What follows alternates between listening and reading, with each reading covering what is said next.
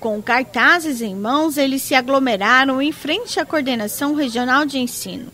Foi uma manifestação pacífica. Os estudantes da Escola Jovem Gonçalves Vilela cobram do governo do estado para que a unidade de ensino seja transformada em tempo integral e não apenas o primeiro ano do ensino médio.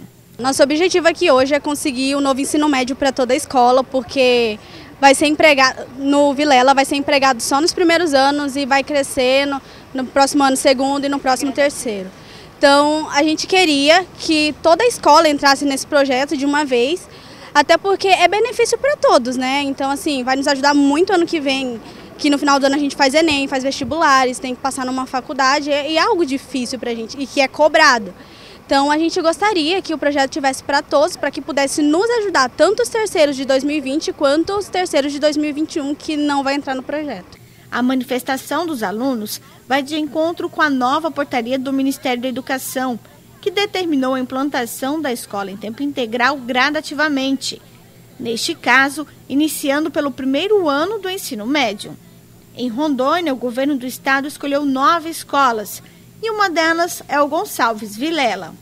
Mas a preocupação dos alunos é de serem prejudicados, pois os professores envolvidos com o projeto Terceirão, desenvolvido na escola, serão remanejados para o projeto do primeiro ano integral.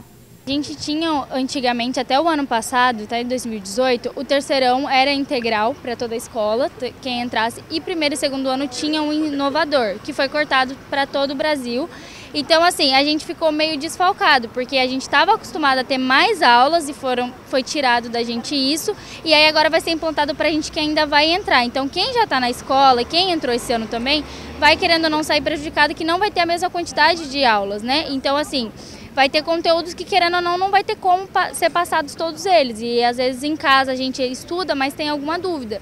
E também vai ser prejudicado porque se a gente não tiver essa aula, não é todo mundo que tem condição de pagar cursinho, porque é caro e também não é todo pai que tem condição de pagar uma escola particular para o filho poder tipo ter alguma aula de reforço ou alguma aula tarde. Então dessa forma a gente vai acabar sendo prejudicado.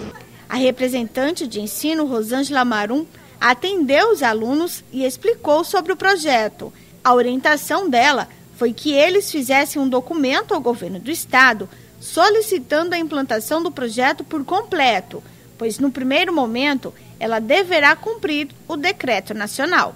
Essas escolas serão gradativas. Elas vão passar para tempo integral gradativo. Então começa no primeiro ano do ensino médio. Então ano que vem, 2020, nós teremos primeiro ano do ensino médio de tempo integral não vai ser possível no segundo ano e terceiro ano. É o que eles querem. Eles também querem ser de tempo integral, o segundo e o terceiro ano.